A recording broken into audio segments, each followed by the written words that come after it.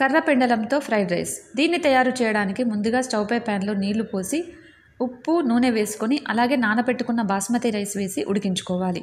ఈ రైస్ని స్ట్రెయిన్ చేసి పక్కన పెట్టుకోవాలి. ఫ్రైడ్ రైస్ చేయడానికి స్టవ్పై ప్యాన్లో కొబ్బరి నూనె వేసి జీడిపప్పు పచ్చిమిరపకాయ ముక్కలు సన్నగా తరిగి వేసుకుని అల్లం వెల్లుల్లి పేస్ట్ కర్ర పెండలం తురుము బీన్స్ ముక్కలు క్యారెట్ ముక్కలు కాలీఫ్లవర్ ముక్కలు వేసుకొని కలుపుకోవాలి.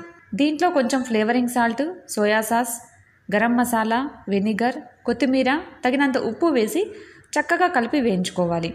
తరువాత ఉడికించిన బాస్మతి రైస్ వేసి కలుపుకోవాలి. దీనిని చక్కగా మనం పెరుగు ఆవకాయ అప్పడంతో తింటే చాలా రుచిగా ఉంటుంది.